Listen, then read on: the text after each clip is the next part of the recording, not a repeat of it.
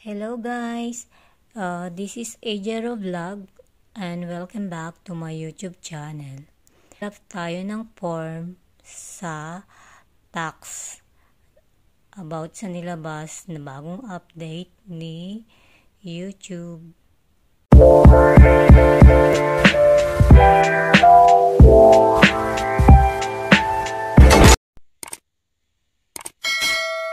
Welcome back to my YouTube channel. This is Ajoro Vlog. Today ay magpipill off tayo ng form. Um, kailangan na tayong mag-declare uh, ng ating tax information um, by signing the tax form.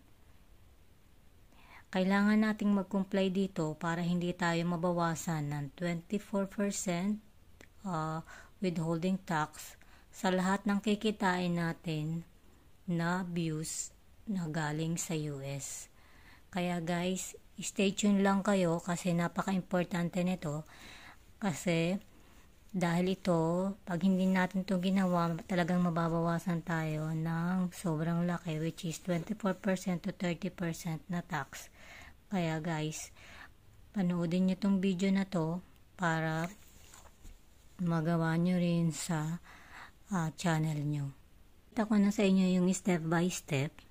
Kailangan guys, bago kayo mag-fill up ng form na to, uh, meron kayong uh, BIR or BIR PIN number. Kasi kailangan ito, napaka-importante nito sa pag-fill up ng form.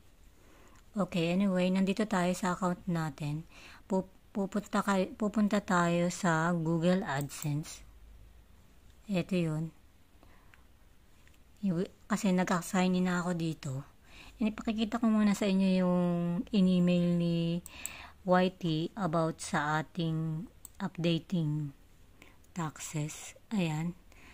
Magiging um, ito siya, uh, over the next few weeks, we will asking you to submit your tax info to AdSense to determine the correct amount of taxes to deduct.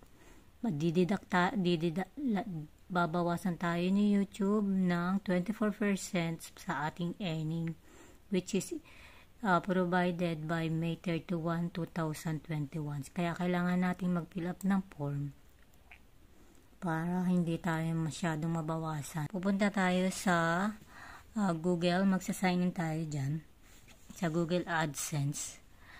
At first step you need to do is to click this payment. Ito yung arrow ko. This is my arrow, the pink one, so that you can uh, easily see kung saan yung kiniklik ko. Click muna natin yung payment. Natin tong manage tax info kasi magpipil up nga tayo ng form at dahil dahil mag-add tayo ng tax info, click natin to add tax info. Kita natin yung account natin and then ilagay lang natin yung ating uh, password. Ito na guys. Uh, ito yung unang question. To find the right tax, click answer the few questions of few questions that IRS or U.S. tax authority require tax info that, reported in letters, numbers of access, character, use of the letters. Ito yon. What types of account? Makikita mo yung account diyan, Ager Vlog. And then, ang una mong kailangan gawin is to click this individual. Individual lang yung kailangan mong i-check sa, sa first step. Then, next. And, ibaba natin ng konti yung cursor. Are you a citizen of residence of United States? Of course, i-click natin no. And then, we click next. Ibaba ulit natin yung cursor down. Select WA tax form type. Based on your previously selected answer, a W8 form is needed. So, yun daw ang kailangan natin. Kaya i-click natin to W-A-B-E-N. Yan ang i-click natin. and then start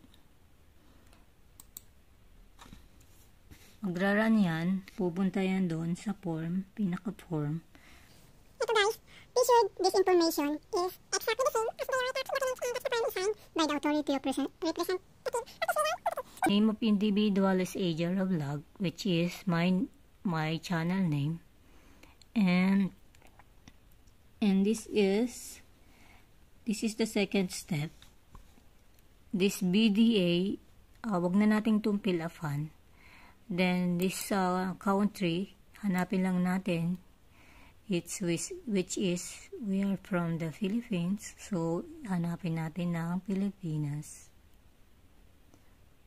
Yan ito na yung Philippines. Click natin yung Philippines country of citizens. Ito yung sinasabi ko sa inyo guys pinaka-importante ito nahahanapan tayo ng tin numbers. Kaya kailangan nating alam yung tin numbers natin. Yung yung ito yung sa BIR, kailangan talaga natin itong fill upan.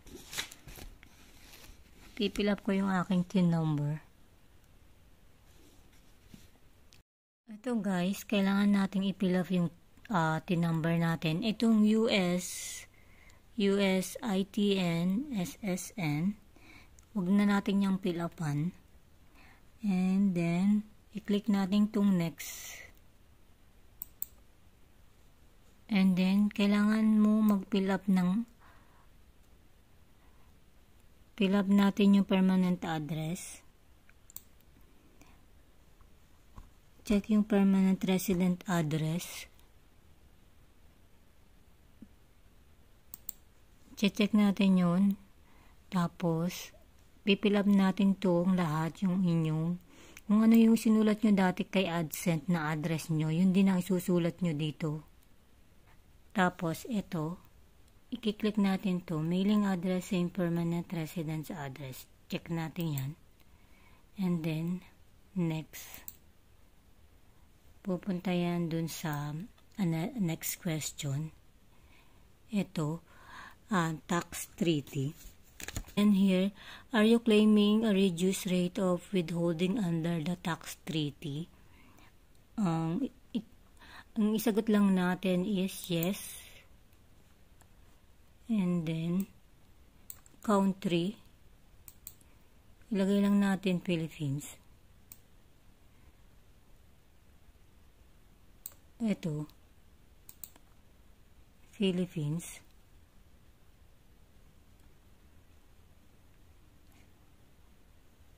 check natin ito, yung residence of country claiming treaty with the, with, with the US. Uh, lagay natin dyan Philippines. At we'll go to the next questions. Special traits of conditions. O, i-check natin yung service and AdSense. Ito.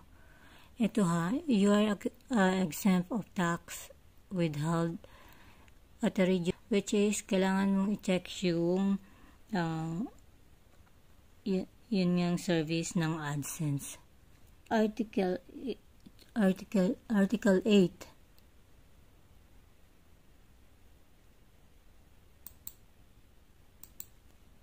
Ito guys, sa article and paragraph, sa withholding rate, i-click nyo to.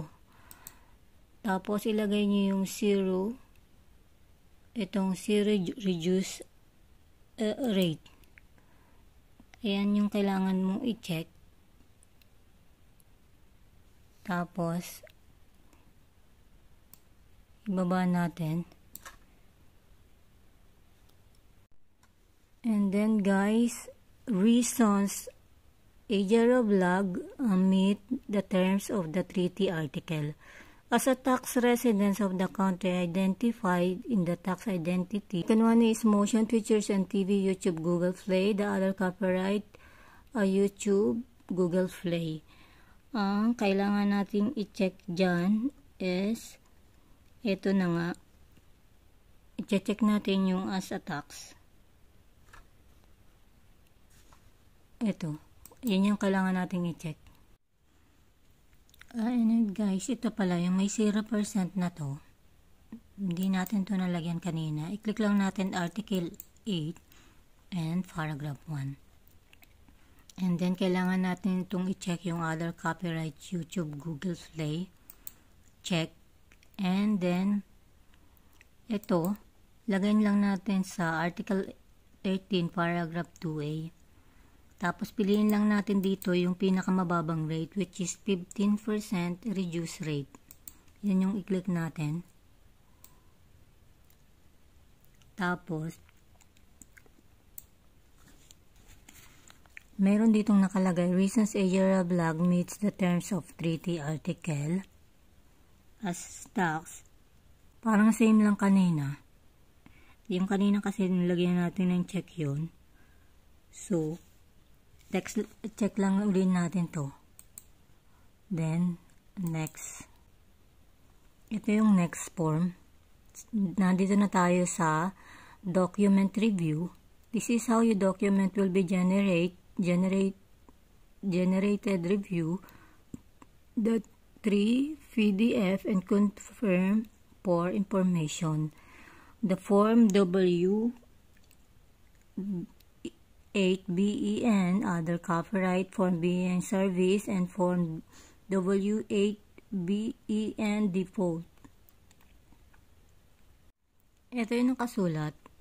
Uh, I confirm that I have reviewed the generate tax documents to the best of the knowledge and believe that are true, correct, and complete.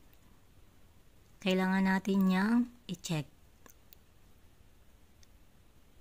Pasensya na yun, nag, nagluloko kasi yung aking cursor. Then, click natin yung next.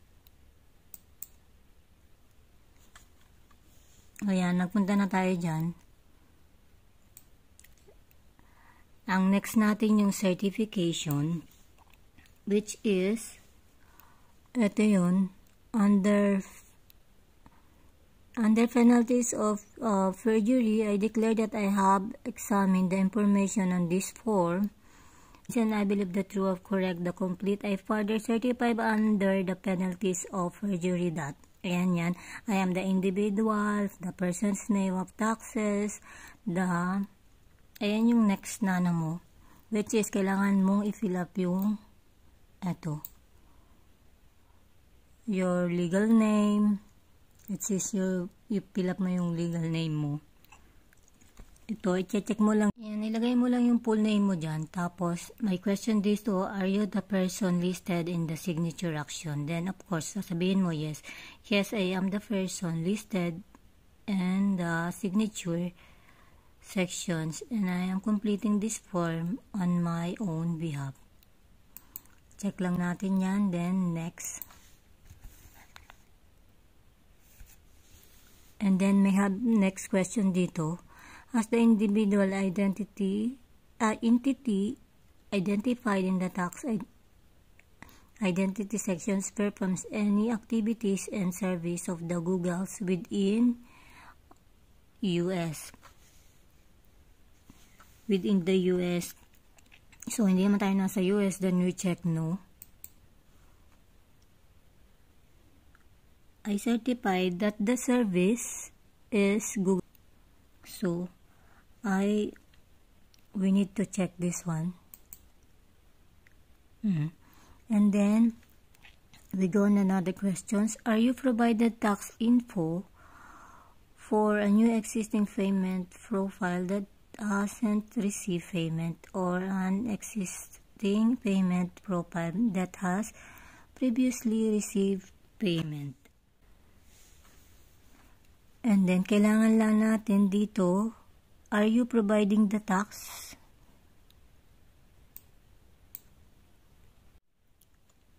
Ito guys, baka magkamali kayo ha, kasi yung una ko kasi kanina.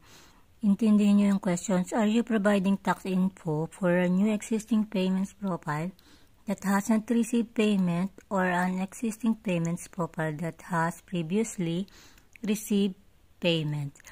I am providing tax info for a new or existing payment profile that hasn't receive payment. It's it's written here hasn't received payments. Meaning, ito yung kailangan natin i-check. I am providing tax info for an existing payment profile that has previously received payment. Ayan. Tapos, i-check lang natin tong under the penalties, forgery. Kailangan natin yung check. And then, i-check natin, i-closure off natin yung mga pinalaban natin. Ito, yan yon yung uh, form ng W, ABE, and tax form. Ayan. And then, kung okay naman na lahat to, napil yung pinila pa natin, ayan, chinecheck ko lang,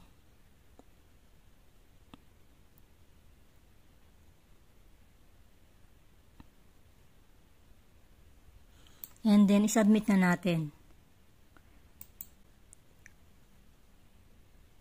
Yan na guys.